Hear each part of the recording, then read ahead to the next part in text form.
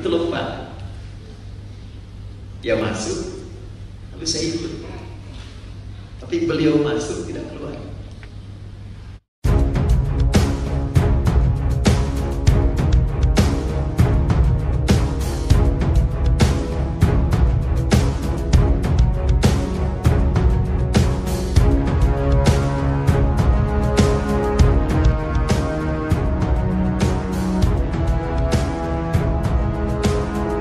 Adi Hidayat mengungkap terkait mimpi yang ia alami yang mengingatkan beliau kepada sosok Emeril Kan Mumtaz atau yang kerap disapa Eril. Ustadz Adi Hidayat mengunjungi Ridwan Kamil di Pangkuan Bandung. Ustadz Adi Hidayat menceritakan pengalamannya saat bertemu dengan putra sulung Ridwan Kamil tersebut.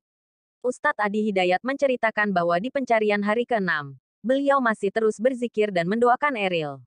Di hari pencarian ke-6, tepatnya hari Senin, saya masih berzikir, berdoa di waktu duha, kata Ustadz Adi Hidayat. Ustadz Adi Hidayat bercerita bahwa di dalam mimpinya tersebut ia berada di hamparan hijau yang luas bersama dengan sosok seorang pemuda. Di waktu duha saya tertidur. Lalu saya berada dengan seorang anak muda di suatu tempat hamparan bagus sekali. Hijau. Jelas Ustadz Adi Hidayat. Beliau juga menjelaskan bahwa terdapat kolam di tengah hamparan hijau itu kemudian sosok pemuda tersebut melompat ke dalam kolam. Itu ada kolam. Anak itu lompat. Dia masuk. Lalu saya ikut. Lanjutnya. Lebih lanjut, Ustadz Adi Hidayat berkata bahwa dalam mimpinya tersebut sosok pemuda yang melompat ke dalam kolam tiba-tiba hilang sembari tersenyum. Tapi beliau masuk tidak keluar. Saya masuk merasakan cukup dalam. Saya pegangan. Terlihat tiba-tiba hilang dan senyum. Jelas Ustadz Adi Hidayat. Seketika, Ustadz Adi Hidayat tersadar dan teringat kepada sosok Eril yang saat itu sedang dalam pencarian karena hilang terseret arus sungai Are di Ben, Swiss. Baru saya sadar anak itu yang saya zikiri. Yang saya lihat fotonya ramai di media, terangnya. Ustadz Adi Hidayat kemudian memutuskan mengunjungi keluarga Ridwan Kamil di Bandung setelah memimpikannya Eril. Lalu, saya putuskan di hari itu saya harus ke Bandung. Boleh jadi ada sesuatu yang mungkin diperlukan. Saya akan datang untuk menemui Bapak Ridwan Kamil, kata Ustadz Adi Hidayat.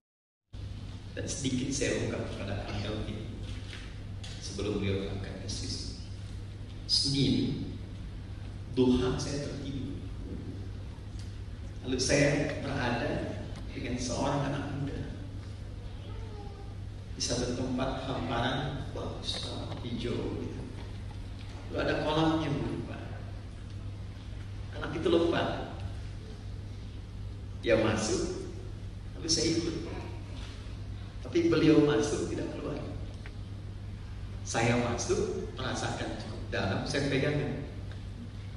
Lalu terlihat tiba-tiba hilang dan senyum.